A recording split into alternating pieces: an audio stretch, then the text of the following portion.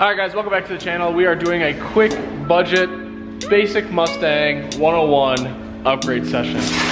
So the owner of the Lightning has purchased a little cruiser that he's not gonna go crazy on, but it is a completely stock 94, or I'm sorry, 95 Cobra.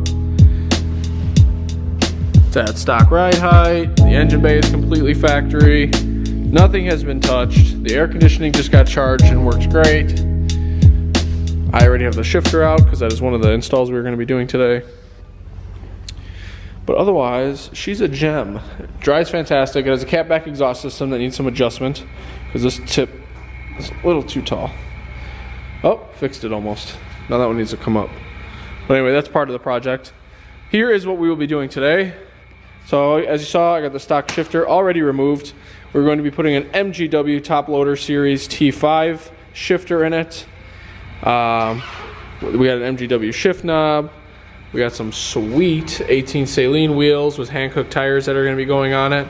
And then the main thing is a Eibach Pro Kit Spring Series with uh, poly isolators.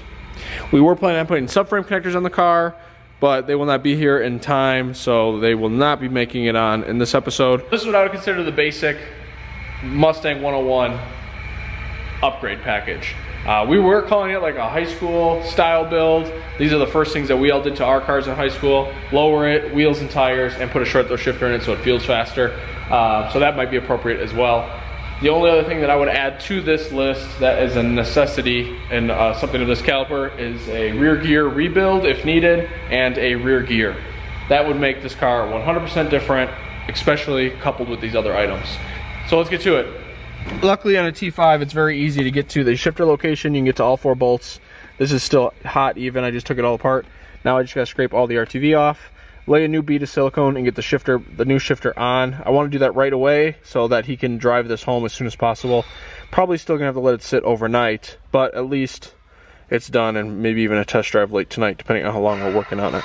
All right, so we already got the uh, shifter cleaned up. We have a liberal small amount of RTV we have a liberal amount of grease on the end of the shifter. This is the MGW that we showed you earlier. Pretty simple install here.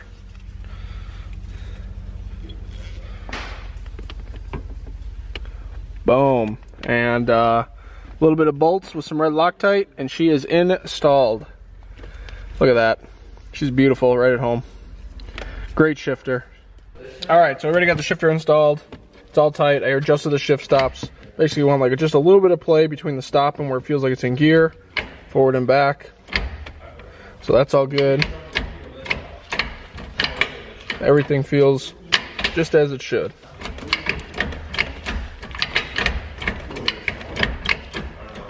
No problems there. So I'm going to take this off.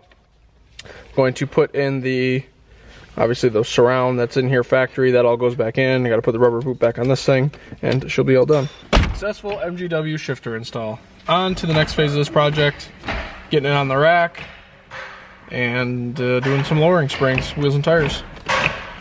We are pimping the Cobra. So the rear spring's already on. It's an Eibach Pro kit. We already got the Eibach spring in it. Um, and I'm not, I actually have a set of Pro kit front and rear sway bars that we're gonna put on this car. But the rear springs are in already. That's pretty much done. Now Dan's working on putting the front springs in. So it's got all apart. We're gonna put that back together. And uh, I gotta go run and grab the rear sway bar. This thing's gonna handle like night and day, shift better. I'm almost not even worried about the uh, RTV drying just because I want to drive it so bad. Can I get the vacuum? Somebody. While we're in here. Car is actually super clean. The only thing it's really gonna need is a gear ratio and subframe connectors. Well, we got all the springs on. Look good. He's all back together up front, more or less. There you go. We still gotta put the sway bar on. We gotta go get that other one from Nick's garage. Pretty sure already touched base. We got the rears in. Looking good. Like I said, we gotta get the rear sway bar and the front sway bar. We're getting the Pro Kit, which we have. Just look at this comparison. Holy cow.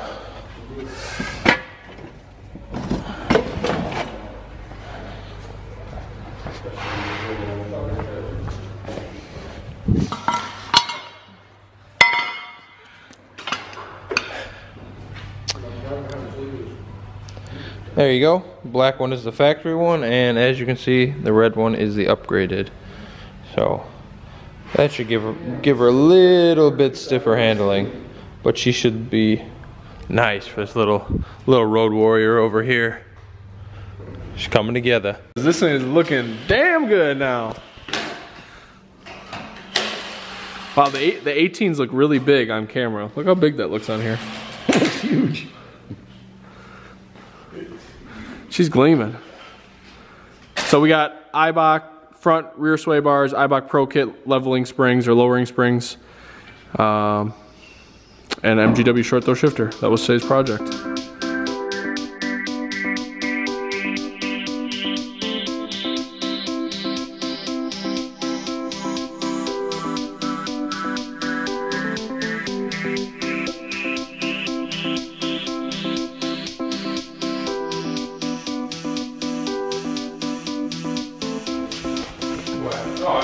Initial reactions. Looks excellent. It still needs to drop down more and it needs center caps on the wheels. So hopefully once it starts to settle, you know, the isolators are new, the springs are new. So once everything starts to settle, it should lower down even more. Um, we're expecting an inch and a half drop out of this and it's definitely not there yet. Looks good though. The wheels were an excellent choice. Fitment, pretty good. Could use like a half inch wheel spacer in the back. All right guys, 1 a.m. update before we come back tomorrow. Car ran and drove awesome. Suspension was good. I wish it was a little bit lower in the front, but I think it's an illusion because it's got a 255-35 versus maybe having a 255-40, which would make the tire a little bit taller in the front. Um, so the wheel gap's a little bit off, but ran and drive great. We got back. Uh, I forgot to change the pinion snubber, so it was bottoming out. I changed the pinion snubber. And then I uh, kind of twisted his arm into putting a gear in it. I mean, it's really a dog. And I had a 355 brand new in the box on the shelf. So now I am halfway through setting up the gear. The whole axle's apart. I have my pinion depth gauge in there, just double checking some things. I already have the pinion in it for initial mock-up. Um, I have the ring gear bolted on. Ring gear's installed and torqued and everything's good here. Uh, my bench is a complete mess. One of the worst I think I've ever put on the channel. But look at my differentials we got going on here. It is just rear end weak. But anyway, uh, so this is all set up, good to go. And uh, tomorrow I will make sure the pattern's good, adjust pinion depth if needed, and put her back together and uh, go for a final test drive. Of all the things that we've done to this car, changing the gear ratio from a 308 to a 355 is hands down going to be the best idea. Um, but we will confirm that tomorrow. I'm going to go home, take a shower, smell like gear oil, which any of you gearheads know that's probably the worst thing you could smell like. That's what I smell like all week. But anyway, we are going to wrap this project up tomorrow, and we're going to move on to another SN. That one's. I'm gonna get some messages wondering why that car's here. I can already tell you. But it's gonna be good. It's gonna be good when it's gone. Anyway, that is uh, that's the update on the 95 Cobra. See you guys in the morning. What's up guys, good afternoon. Thank you for staying up late with me last night as I finished up some of the odd items on the Cobra.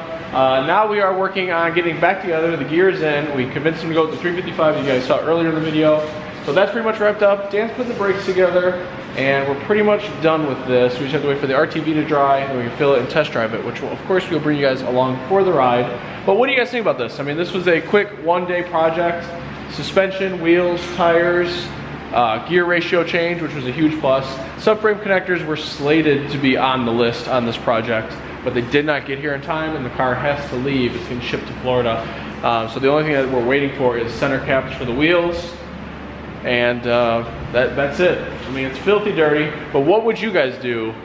Comment down below what how you would change this build or what you would do if you were doing something like this on your car. Started bone stock, you want to spend a couple of thousand dollars or a thousand dollars, what would you have done first? Hey, what's going on everybody? We got the 95 Cobra back on the ground, rear end full, and uh, she sounds pretty good. No noise. I guess that's what I meant, sounds pretty good. Doesn't make any noise. that we can hear so far. Going left and right is good. Handling is so much better. That's Got raw all the power. That's raw horsepower. It's good though. making six, seven hundred at the tire easy.